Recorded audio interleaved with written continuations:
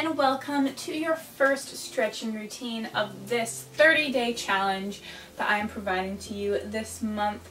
If you didn't know, I am posting workouts every single day this month and today's workout isn't really a workout, it's a stretching routine.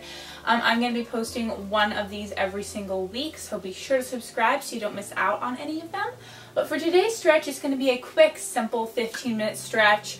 I really tried to make this for all levels. So whether you are a beginner and are like not flexible at all, or whether you're an athlete that stretches all the time and just needs a quick one to throw into your routine, this one will work for anyone. So I really tried to get every muscle in here. We have feet, we have legs, hips, we have your back, your shoulders, arms, everything, even your neck. I think. So without further ado, let's dive in. For each stretch, we're going to be doing it for about 30 seconds, just because I feel like that's a really good time to just sit into the stretch. But if you feel like one side's tighter, feel free to like pause the video and just hold the stretch if you feel like you want to. That's completely fine.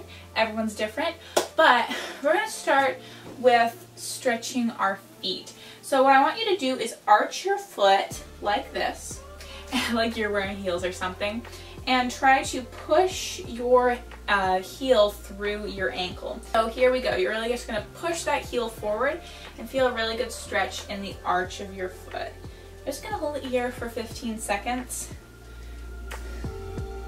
and kind of push, kind of pulse it a little bit if you want.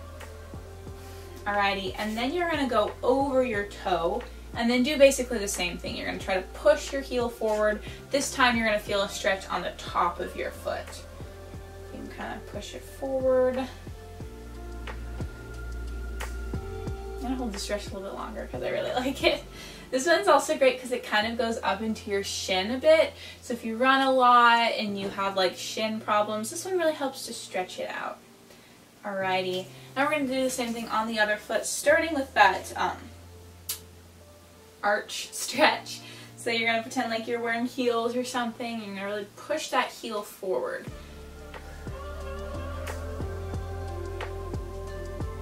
Alrighty, and then go over your toe. This is such a good one. It just stretches out the top of your foot, your ankle, a little bit of your shin.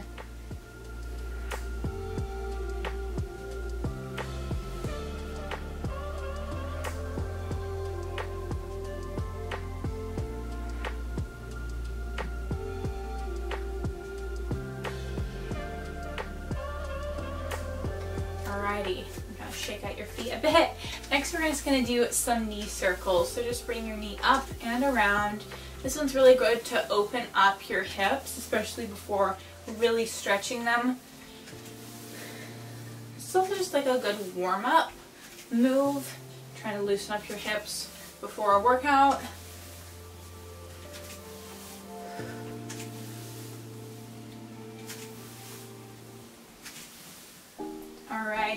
This next one, um, it's like another moving one to still get your muscles a little bit warm. You're going to have a wide stance, your toes pointed out. Touch your hands to the ground while in a nice deep squat and then stand up and roll your shoulders back. Here we go.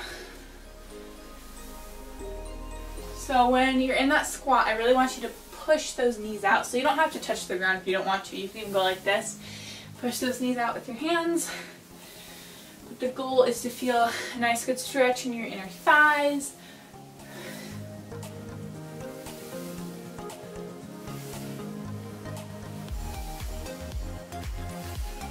Alright, so now come down and we're going to hold it.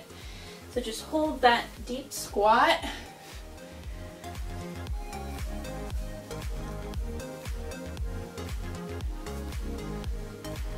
Push back with your elbows. You could also push back with your hands. Feel a nice deep stretch.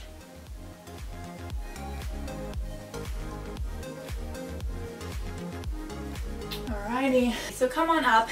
Next, we're going to do a forward fold, and then we're going to do a little shoulder stretch in there as well. So what you're going to do is reach forward, then clasp your hands behind you, and then straighten them out. Now, If this is really hard on your hamstrings, you can slightly bend your knees. But if not, try to keep your legs straight and that way you get a good stretch not only in your shoulders but also in your hamstrings. It's also a good stretch for your chest.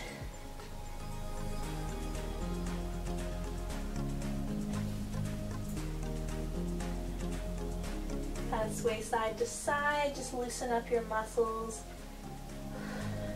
Alrighty. Gently release and we're gonna head to the ground. Alrighty, so come into your hands and your knees and we're gonna do cat-cow. Um, basically what that is, if you don't know, what you're gonna do is arch back as far as you can and then contract into a cat back. Here we go. Again, we're gonna do this for 30 seconds. This is a really good stretch for your back, obviously.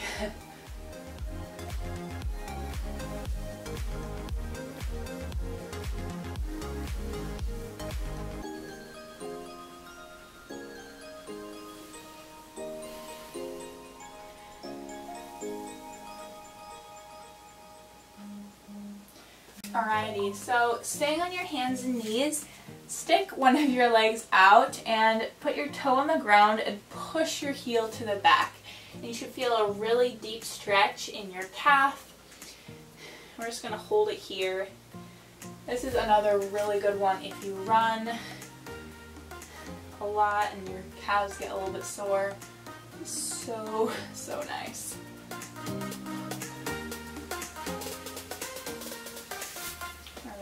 Switch legs. Kick your other leg back. Really push that heel to the opposite side of the room. And that's when you're to really feel a deep stretch.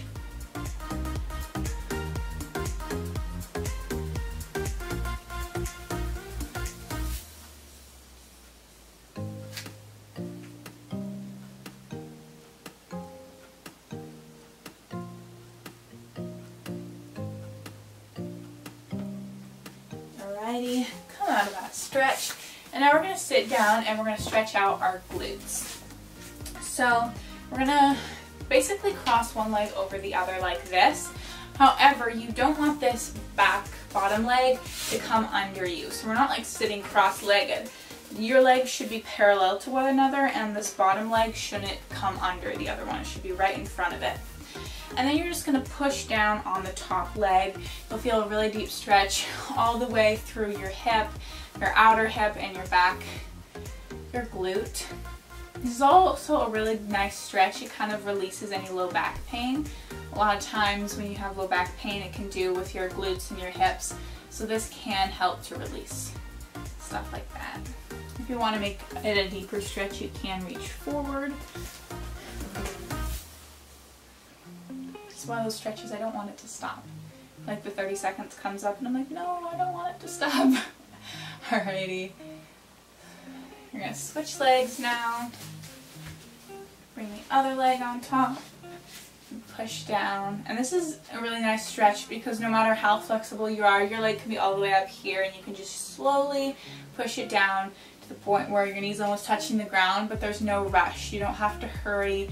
You just breathe into it, let your body relax into it. Don't push your leg too hard. Just remember to take it easy. Your stretching isn't about trying to get as far as you can. It's about just letting your muscles relax and loosen up.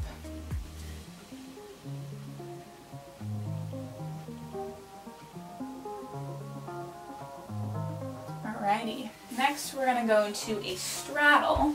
So bring your legs as wide as you can. Remember, like like the other stretches, it doesn't have to be super far. The goal isn't to get as far as you can. It's just to loosen up your muscles. So however far you are, that's completely fine. Straddle is a bit of a harder stretch for me, so I'm not super good at it. But all we're going to do is just reach forward. So um, you can reach forward as far as you can. I'm not going too far forward. You can go onto your elbows if you want. I can't do that yet though because I'm not that flexible.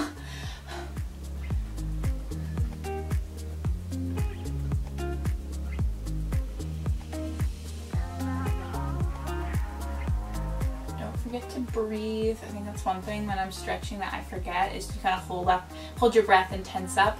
This is just to relax and loosen your body and breathe into it. Alrighty, so now what I want you to do is like square your hips to one of your legs. So if your hips are facing forward, I want you to turn so that you're facing one of your legs and then reach over that leg. And this is gonna be stretching the back of your leg. It's called your hamstring. And you don't have to be super low. Again, you can be up here, but I want you to keep that flat back. So try to pull your chest closer to your leg instead of just trying to reach towards your foot. I want to keep a nice flat back so as you can see my chest is touching my leg before I'm trying to reach.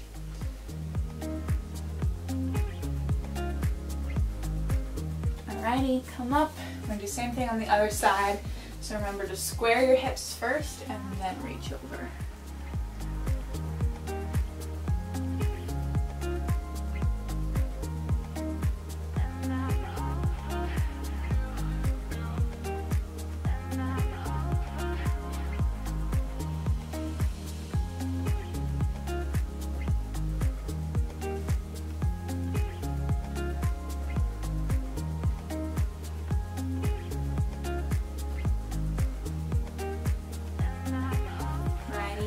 So for the next stretch, we're going to stay in the straddle and we're going to do a side stretch. So reach over your head and try to reach for your foot. It's okay if you can't quite grab it.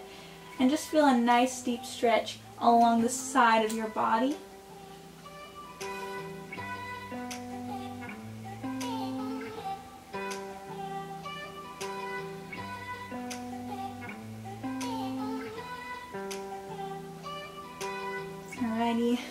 On the other side.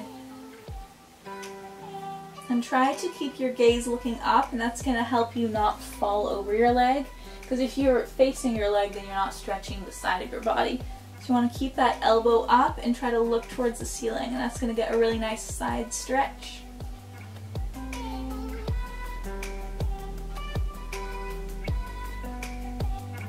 Alrighty, come on up. So this next one is really nice for the upper body and your upper back, especially if you're sore. All I want you to do is just clasp your hands together, kind of like you're going to stretch. Well, we are stretching, kind of like you're stretching when you first wake up. And we're just to do like a really big circle going around your whole body and then coming up and we're to do it to the other side. Here we go. Make a nice big circle. This feels so nice, especially after you've worked like your upper back. It's just, it feels so, so nice. This is something you should do every time you wake up. Just stretch your upper body. Really trying to reach those fingers as far as you can.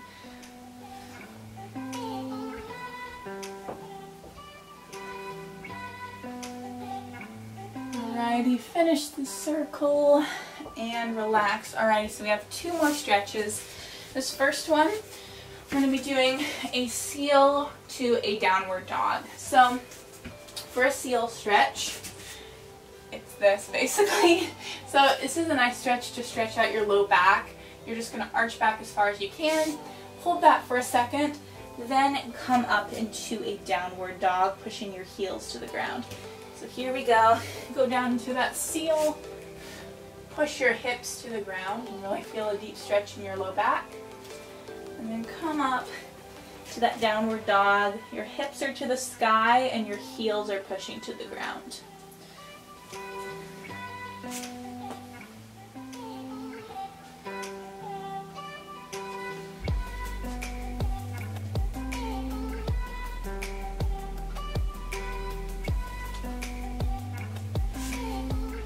Alrighty.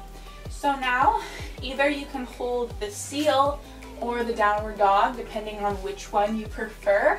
I'm going to hold the seal, but it's kind of like wherever's tighter. So if you feel like you want a nice back stretch, you can hold the seal. If you feel like your hamstrings or your calves are a bit tight, you can hold the downward dog.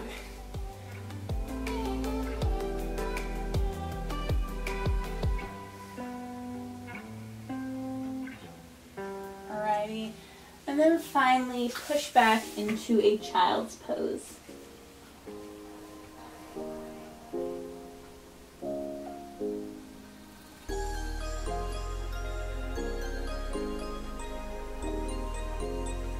Alrighty, come out of that and that is it for today's stretching routine guys. I hope you enjoyed it. I really enjoy these stretches. I love that it's just really quick. You can do in the morning right before you go to work or to school. You can do it at night before you go to bed. This is great either before or after a workout. It's just a really great stretching routine. So I hope you enjoyed it. If you did, give it a big thumbs up and tell me in the comments below what video you'd like me to do next. And I will see you tomorrow for another workout.